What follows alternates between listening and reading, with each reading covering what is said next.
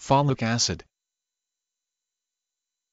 Folic acid, one of the B vitamins that is a key factor in the synthesis the making of nucleic acid DNA and RNA. A deficiency of folic acid after birth causes a kind of anemia, namely, megaloblastic anemia in which there is a paucity of red blood cells and those that are made are unusually large and immature so-called blast cells. Lack of adequate folic acid during pregnancy was first found to increase the risk for the baby to have a birth defect involving the spinal cord and brain, a neural tube defect such as spina bifida meningomyelocele or anencephaly. The association was then investigated between the mother's use of drugs that act as folic acid antagonists in the first trimester of pregnancy and the birth of a child with a congenital malformation birth defect. It was found that folic acid antagonists increased the risk not only of neural tube defects but also of congenital heart malformations, cleft lip and palate, and urinary tract defects. Folic acid it now is clear, reduces the risks for a remarkably broad gamut of birth defects. In order for folic acid to be effective in preventing these birth defects,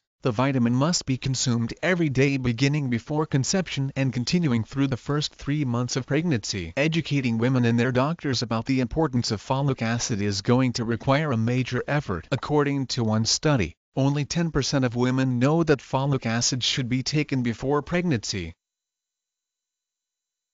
F O L I C A C I D. Folic acid